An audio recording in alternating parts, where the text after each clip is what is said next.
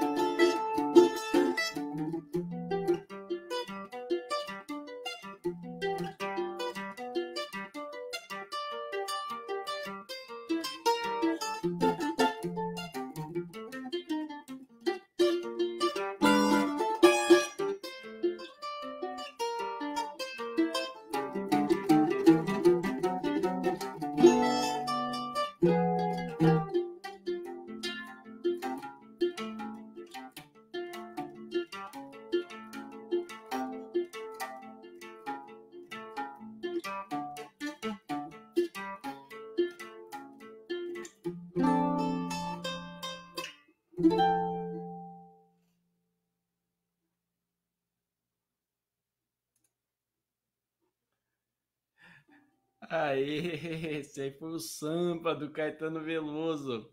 Olino, liga o microfone aí. Cara, como é bonito, cara. Como as pessoas têm que dar valor, cara. Como é difícil fazer isso que você faz, cara.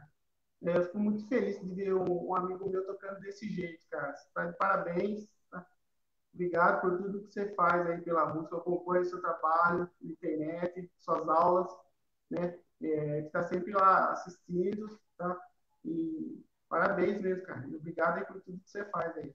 Ô, louco, eu que fico feliz aí de saber que você, você me, acompanha, me acompanha aí. E um músico como você é um elogio. Eu fico feliz pra caramba ali. Obrigado mesmo.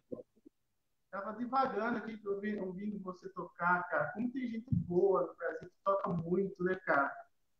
Todo lugar.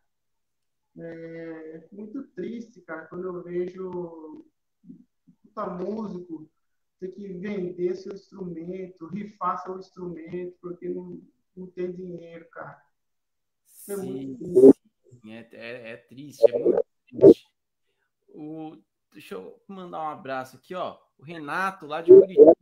Renato é meu aluno de cavaquinho, ó. Mandou uma salva de palmas aqui, ó. Valeu, obrigado. Um outro amigo aqui, ó. Demirzinho. Massa demais. Ô, Demir, valeu. Valeu. Demir também estudou lá. É batera. Ah, percussa? Legal. Massa demais. É, Olino, é, é, você se formou em cavaco lá no, no Conservatório de. Isso, cavaco. Uhum. Eu queria você, é, você falasse um pouco sobre o curso, sobre o cavaquinho lá no conservatório, como é que é a parte do instrumento, assim. Pedro, deu umas cortadinhas, eu consegui ouvir até você falar assim, como é o curso, depois não ouvi mais. É como é o curso de cavaquinho lá, como que, que ele acontece, é, o que estuda, quem vai, vai estudar cavaquinho lá no conservatório, o que, que ele vai ver? Vai ver o o que mais, assim? Você desse uma resumida, assim, né? Estuda lá. Realmente, é, isso eu acredito que seja para todos os cursos, né? É, hoje em dia mudou a forma de ingressar no conservatório. Pelo que eu estava vendo no site lá, tem duas opções. Avançar é, com conhecimento e sem conhecimento. Né? Sem conhecimento, acredita que não saiba tocar, não saiba ler partitura. E com conhecimento, é, cara que já toca, já lê, né? Chegando lá, eu nunca vou esquecer isso, cara. Uma coisa que o Marcelo falou para mim, eu não tinha muito conhecimento de choro, né? A gente conhecia os principais, assim, o carinhoso, né? o brasileirinho. Mas ele falou, cara, aqui você vai aprender choro. Quem toca samba, toca samba, mas não toca choro. Agora, quem toca choro, toca tudo, qualquer estilo musical, né? E é verdade, o choro é muito completo, né, cara? Então, tocando choro, isso ficou na minha cabeça, ó, quem toca choro, toca tudo, e é verdade mesmo, cara. O choro é muito completo, né? Tanto na parte do acompanhamento, na parte de solo, né? E aí você vai aprendendo as músicas, aí tem depois as aulas de grupo, né? E você que está aprendendo cavaquinho, tem o aluno que está aprendendo pandeiro, o aluno que está aprendendo violão, o aluno que está aprendendo flauta. Eles se juntam no horário, né?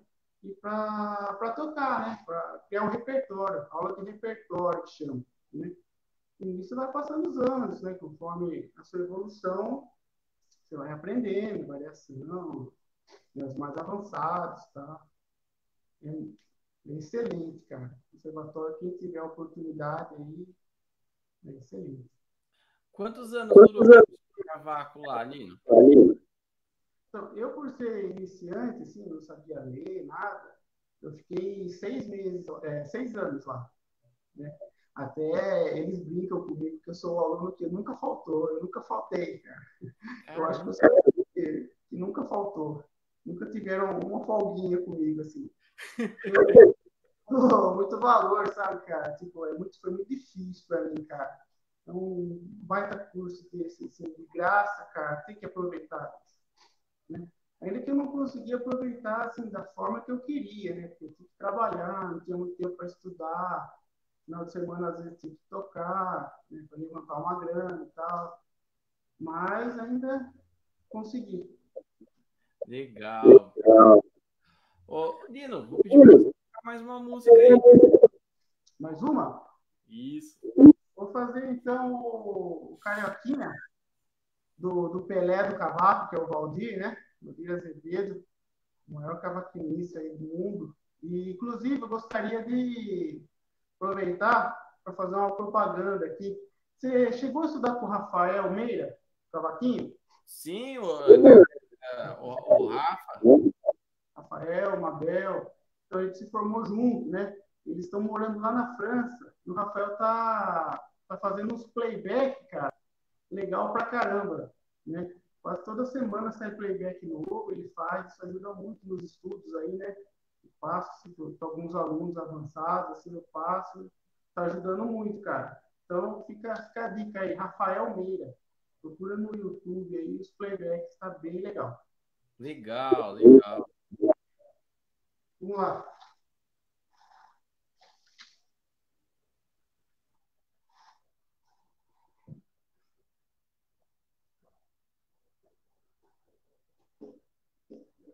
Thank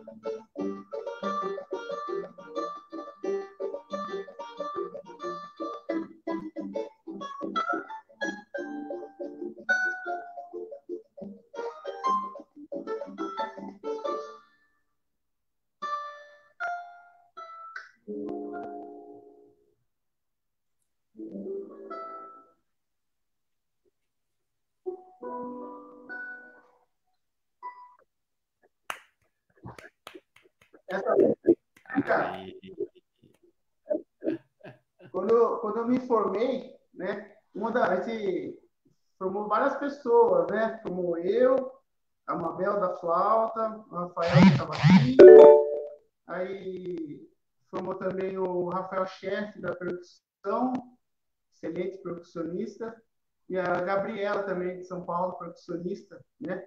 Aí a gente, cada um escolheu umas duas, três músicas ali e a gente fez uma apresentação. Foi bem legal a nossa formatura e uma dessas, uma das músicas que eu toquei foi essa.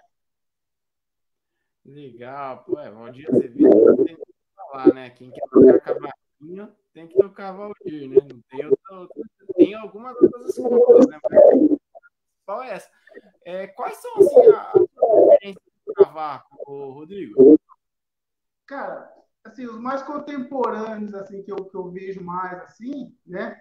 Eu gosto muito do Messias Brito. Esse cara é, é ET, cara. Ele é do outro mundo, toca muito, cara. Márcio Marinho também, ele toca um cavaquinho de cinco cordas, né? De seis e, agora. Tá tocando de seis? Ah, esse eu não vi ainda, preciso ver.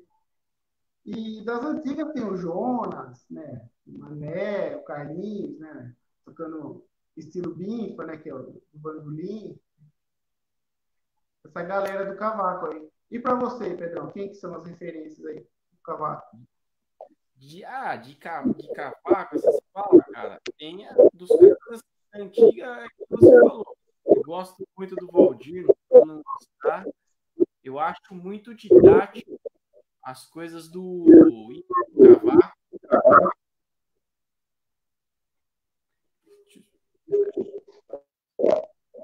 Acabou. Peraí, acho bem. Eu, eu mutei seu microfone aí porque tava dando eco. Quer ver? Aí já já o, o Índio do Cavaco acho bem legal as coisas dele. É, como você falou, o Messias Brito tocando, putz, é um extraterrestre, assim, muito rápido, muita técnica. O Márcio Marinho também, uma técnica absurda. Os caras, assim. O Márcio Marinho, com esse lance dos cinco cordas, dos seis cordas, é, é um outro instrumento que nasce, né? É uma, uma forma totalmente nova de se tocar, totalmente diferente, que, que, que, apareceu aí, né? Saiu um pouco do que do que o cavaquinho vinha fazendo até então. E tem até um cavaquinista que eu gosto muito de, de, de ver ele tocando, que é o Alex, que toca no Demônios da Garoa. Ele é irmão do Charles da Flauta. Eu, eu admiro muito, eu sou muito fã do, do jeito que ele toca, da forma que ele, que ele toca. Eu, eu acho demais, assim. Espera aí que eu vou, vou, vou desmutar seu mic aí. Aí. Pode desmutar aí, Rodrigo. Melhorou? É que, eu, é que eu tô com um ventilador aqui, cara, que senão eu não aguento, está muito quente aqui, cara. Então, Deve ser ele, o ruído. É, voltando aqui. O Alex, ele é do Demônios da Garoa, não é? Uhum. Ah, eu tenho ele no Facebook, eu acompanho ele também. Excelente. Ah, e você é. tem uma, uma referência aí, o Carrapicho, né? O Carrapicho não tem nem. Carrapicho toca, se você jogar na mão dele, o bicho toca, né? Sensacional. Eloy, Eloy também acompanha o Eloy, toca muito. Sim, sim, esse, ah, esses caras aí a, a gente até não é, não é que esquece de falar, é que a gente tá tão acostumado a falar deles, né? Do Eloy, do Carrapicho, é, que a gente, a gente acaba até, até, falar deles é chovendo molhado, né? E graças a Deus aqui moram aqui na minha cidade, então você tem, tem a oportunidade de trocar ideia, de estar tá junto, de, de, de, de poder estar tá, tá sempre em contato, né? Ó, o Carlos Rocha Neves, agora tá beleza. Ô, Carlos, obrigado aí de estar tá assistindo. Ó, por falar em cara fenomenal, Rodrigão. E esse aqui, ó. Esse, cara, esse Everton é um dos melhores flautistas que eu já vi, cara. Excelente, cara. Everton também é uma pessoa bacana, cara. Tipo, não só músico, uma pessoa mesmo, né? Sempre me convidando para ir lá na terra dele, fazer um som, cara. Quando juntava, eu juntava ele, o Zazá no sax e o Conrado no, no trombone, cara, é a coisa mais linda que tem no mundo. Tocam muito. Everton, excelente trabalho que ele vem fazendo lá na terra dele, do, do choro, né? É, Pixinguinha. Alguma coisa do Pixinguinha. Eu acompanho o Everton também. Legal pra caramba. Cara. Bertão, um abraço. Sim, sim. O, o Everton, a semana passada, ele teve aqui na, na, na live aqui, foi com, foi com ele que a gente fez o bate-papo. Pô, eu sou, sou fã dele, né? Falar do Everton também é fácil, né? A gente só tem coisa boa para falar dele como pessoa e como músico, né? É, esse lance de tocar solo, eu vi ele, a gente tocou aqui no Sesc Araraquara, ele foi nosso convidado de um grupo de choro que a gente tinha aqui. E ele tocou solo, então foi, foi uma coisa bem inspiradora ver ele tocando solo assim, para eu tentar também tocar solo um pouco. É, o Everton ele é, ele é fora da curva. Né? Eu assisti, né, para mim ver como funciona, eu nunca tinha participado de uma live, eu assisti, né? Você com o Everton, bem legal, cara, foi bem, bastante coisa, aprendemos ali, bem legal. Mas... Ele é super engraçado, né, cara? Ele é super engraçado, ele fala umas coisas engraçadas. Sim, sim. Ô, Lino, eu vou, vou pedir licença, vou fazer mais uma música aqui, beleza?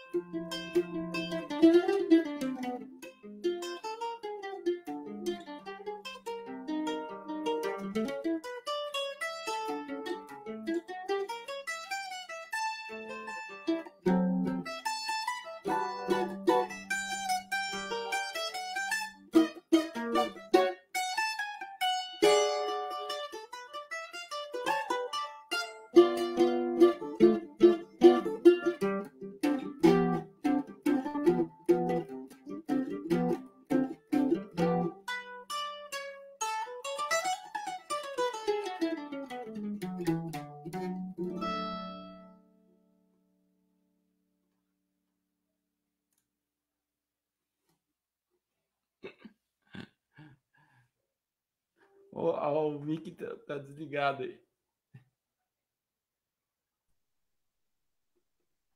Coisa linda de música, né, cara?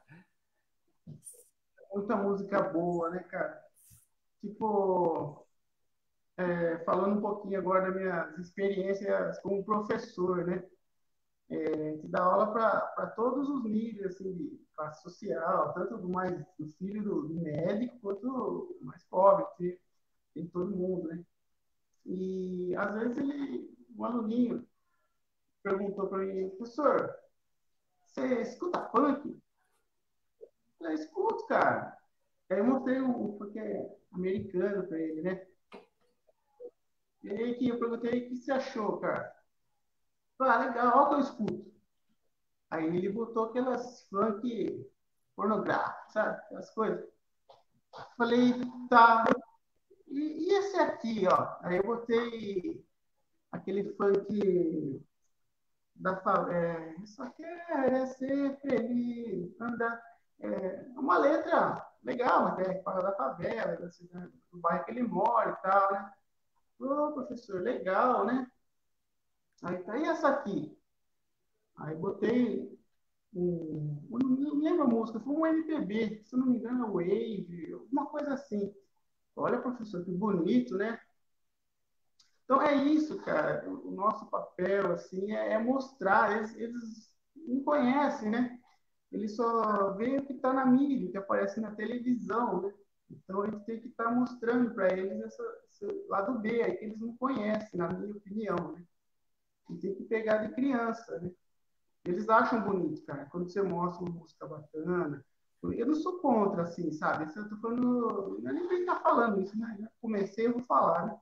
Sim. Eu não sou contra o funk, assim, sabe? Eu sou contra, tipo, é, o, como se pode dizer, a letra, né? O figurino da dançarina, né? É, expondo a mulher, não tem necessidade. O foco é o som, né, cara? Quando está tocando, tem que dar foco no som. Né? Por exemplo, o Jacó, quando ele ia tocar assim, tivesse uma criança chorando, alguém tossindo, ele pedia gentilmente para a pessoa se retirar. Né? E o foco total era no som, cara. Então é isso que tem que dar, não no tênis do cantor, nada disso. Eu, sei lá, essa é a minha opinião. Mas o nosso objetivo, nosso, nosso papel quanto educador, né, é mostrar nas escolas, mostrar, né? acredito que o papel do o choro, né, da nossa época, de 10 anos atrás até hoje, né, acho que vem evoluindo, né, Pedrão? Vê bastante no Facebook, assim, Clube do Choro de, da Alemanha, Clube do Choro de, de Barcelona.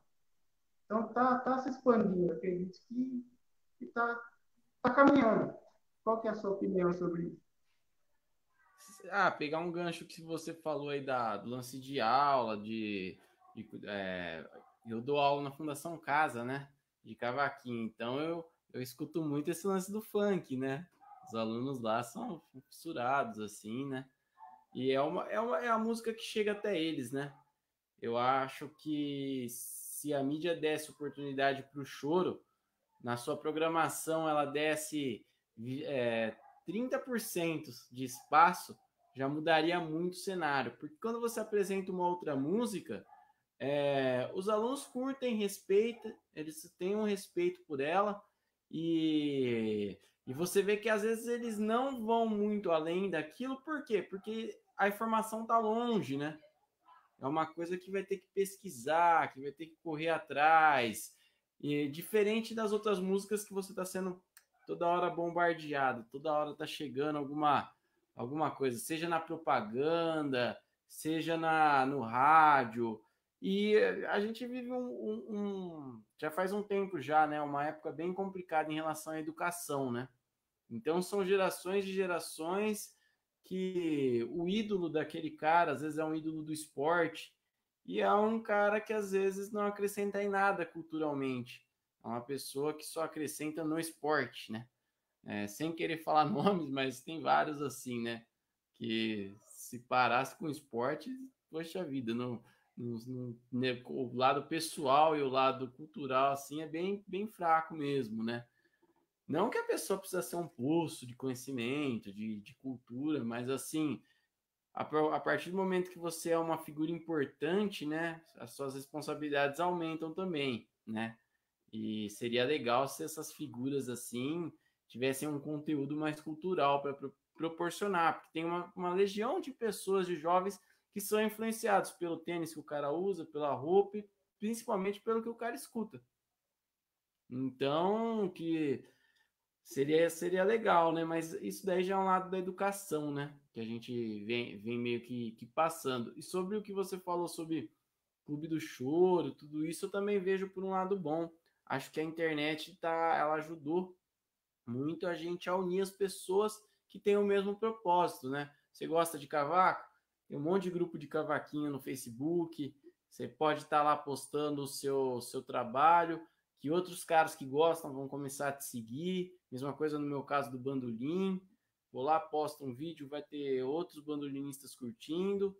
E aí vai se aproximando das pessoas que são do mesmo, tem os mesmos interesses, os mesmos gostos que você. Isso é bem legal, né? Porque é diferente de você viver num, num mundo sozinho assim, né? Tipo, ah, eu toco cavaquinho, tenho meus ídolos lá longe que eu só escuto CD deles e, e, mais nada. Aqui agora a internet proporciona você estar tá mais perto também dos seus ídolos e das pessoas que, que vão curtir o seu som, né?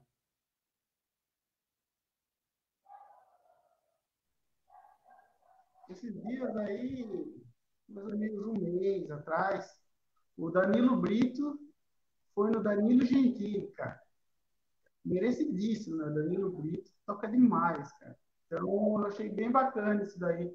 As meninas do choro também, às vezes vão no Ratinho. Legal pra caramba. As, a das três, né? quando elas vão no Ratinho. E vai abrindo espaço, né? Isso é legal. Sim, sim. Às vezes o que, o que precisa é estar é tá um, uma pessoa assim que interessa, vamos supor, ela tá perdida assim e do nada assiste aquilo, se interessa, vai aprender, leva jeito e acaba pegando aquilo lá pro resto da vida, né?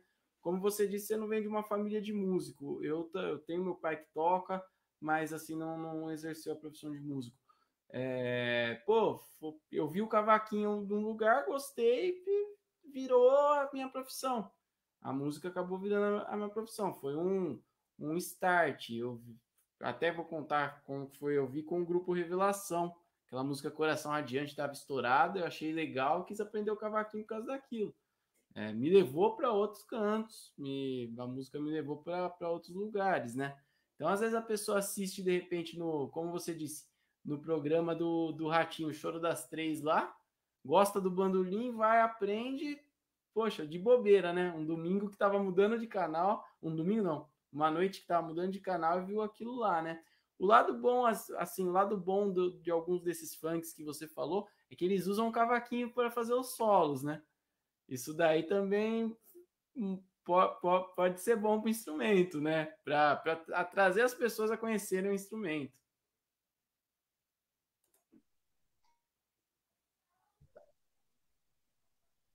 Eu vou deixar você comandar o mic aí, que eu estou apanhando dele aqui. É, demorou. Viu? Então, cara, quando é, aqui na minha região, o que, que, mais tem assim é sertanejo, né? A galera gosta de sertanejo, né? E as pessoas, quando eu vou apresentar o cavaquinho, né? Eu falo que o cavaquinho é um instrumento, né? Ele pode ser tocado qualquer estilo musical, né? É para tirar som. Aí o som você escolhe o som que você gosta, né? Aí eu toco ali um sertanejo que eu sei, um pop rock, né? Ah, que legal, professor, que legal. Né? Aí, né, eu falo que aqui não foi feito só para tocar choro, samba, pagode, né? Então, está com instrumento. Né? Então, é, é por aí. Sabe o que, que eu faço, Pedro? Quando, aproveitando aqui deixa, quando, assim, quando um aluno é particular, né, ele já, já chega falando mais ou menos o que ele quer aprender. Se ele quer aprender solo, se ele quer aprender é, acompanhamento, né? Agora, quando o aluno, tipo, ele é iniciante, ele não tem, não sabe o que ele quer aprender, eu aprendi isso com um educador, numa dessas capacitações do guri. O que, que ele faz? Ele simplesmente dá o instrumento na mão da criança, ou do, do adolescente, do adulto, né? pode, pode ser qualquer idade. Se um adulto, o aluno, fizer isso aqui, ó, ele vai segurar tudo errado. Né? Se ele fizer isso aqui, é porque ele quer acompanhar. Agora, se ele fizer isso aqui, ó, é porque ele quer ser solista. Eu achei que ele falou, cara. Aí um dia eu fiz, nem sempre dá certo, né? Mas eu achei bem interessante. Às vezes eu faço isso com as crianças que estão em dúvida. Isso é bem legal. Sim, achei, achei bem legal, bem interessante, né? É, tem gente que gosta do instrumento, mas na verdade conhece bem pouco dele, né? E procura para ter aula assim, sem ter. Às vezes não sabe nem que é com palheta que toca, né? Chega só com o cavaquinho na aula, só, no, é, não tem nem noção que é, que é a palheta que vai utilizar, né? Viu? Aproveitando e falando em palheta, se eu pegar uma aula com você, aproxima a sua palheta para dar uma olhadinha, ver qual a palheta que você está usando, só para ver qual que é. Ah, que eu uso essa aqui, ó. Espera aí. Virar ela, né? Ponta cabeça. É a Dunlop ponto setenta e três. Legal. Qual que você está usando, Lino? Para bandolim? Onde está? Estou meio perdido aqui, cara. Isso aqui eu uso por bandolim, né? Eu vou, eu vou testando conforme vai passando o tempo. Eu enjoo, pego outra. No momento eu estou com essa aqui. Bacana, pô. Ah, a conversa tá legal, tá boa, mas toca mais uma música aí, Rodrigão. Beleza, eu vou tocar uma música lá do B, não tão conhecida. Assim, vou fazer no bandolim, que é uma música que chama Amapá. Né? Ela é bem didática, assim, para alunos iniciantes, eu costumo passar para meus alunos. É uma xixi bem legal.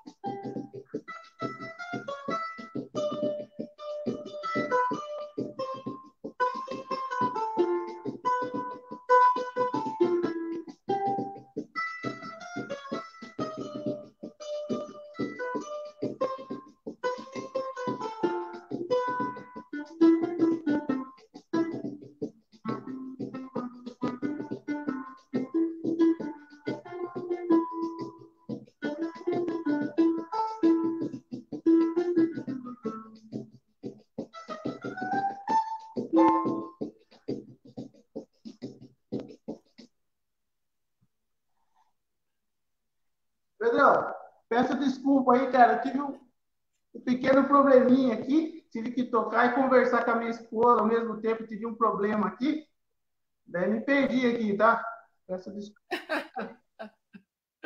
É aí que a gente vê, a gente vê a versatilidade do cara, rapaz. O cara toca, conversa, é isso aí, pô. Legal demais, ô, Rodrigo. Parabéns aí. De quem que é esse choro aí?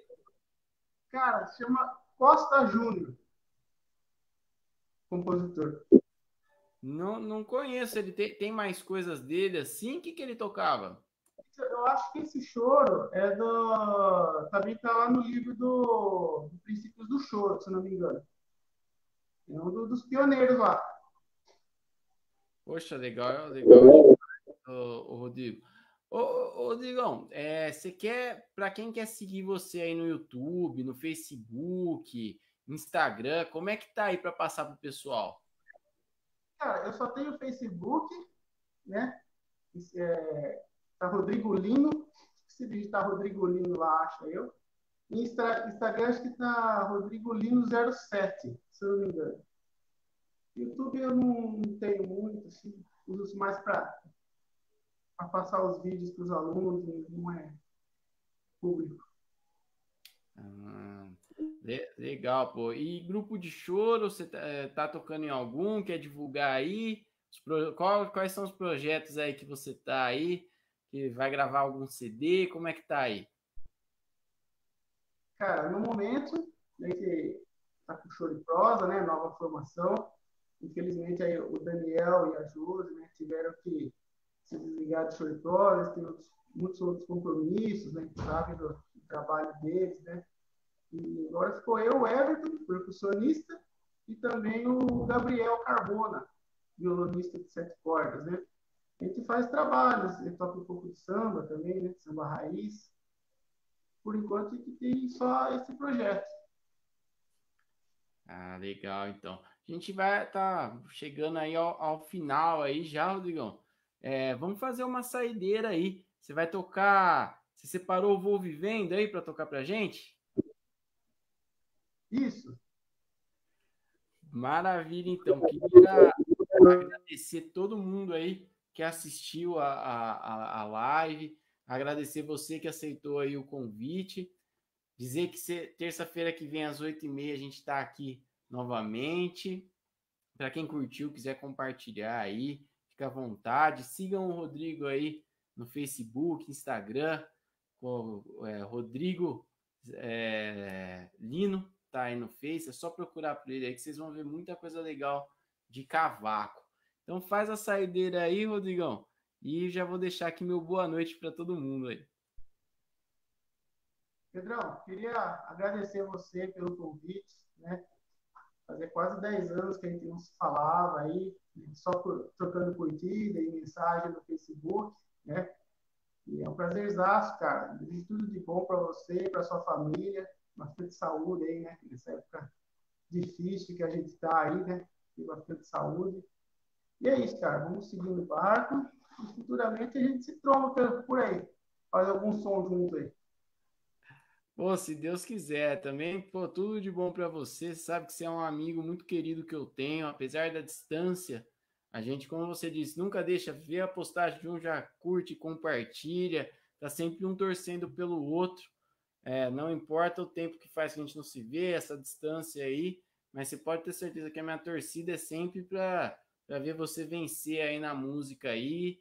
É, parabéns por defender a bandeira do choro, que eu sempre vejo que você defende aí. E aí, a, a, esse lado do seu educador eu não conhecia ainda e, pô, já tenho certeza aí que a galera tá tendo o privilégio de estudar com, com um baita de um professor e de uma pessoa muito determinada e muito talentosa também. É, eu faço das, das, suas palavras as minhas palavras. Né? A gente vê claramente a sua evolução, né? o esforço que você tem, né? a garra de estar estudando, estar buscando. Né? Parabéns por tudo que você está fazendo, continue assim. Né?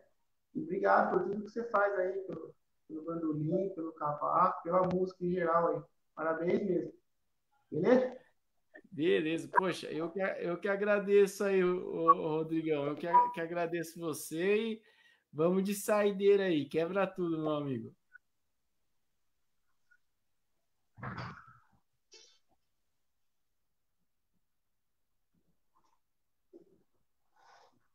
Um, dois. Um, dois.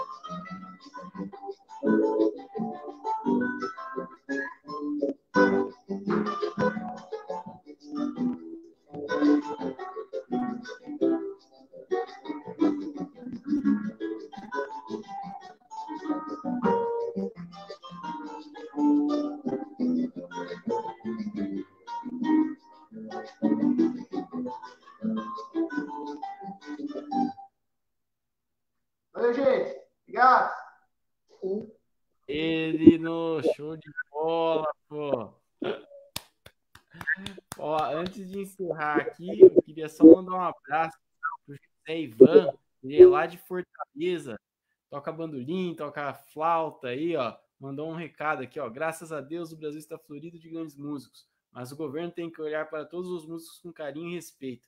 Músico é uma profissão que estuda muito, igual a médico. Pô, José, obrigado aí pelas palavras. Ah, Pedrinho é genial. Meu forte abraço para todos vocês. Deus sempre. Pô, José, obrigado mesmo por sempre estar tá apoiando aí a galera do choro. Segue lá o Rodrigão lá, se você não segue lá, que você vai ver muita coisa boa. E fechou então. Rodrigão, mais uma vez, obrigado aí por, por ter aceito. E tamo junto sempre, pô. Eu que agradeço. Vamos estreitar esse, esses contatos aí, vamos ficar mais próximo aí, né? E ó, passar essa, essa loucura aí, a gente faz um, som junto aí. Grande abraço para você e toda a sua família aí. Tudo de bom aí, viu, cara? Para você também. Se Deus quiser, em breve a gente, a gente vai estar tá junto aí. Então, o pessoal do Face que assistiu até agora, muito obrigado e uma boa noite aí para todo mundo. Um abraço. Obrigado, gente.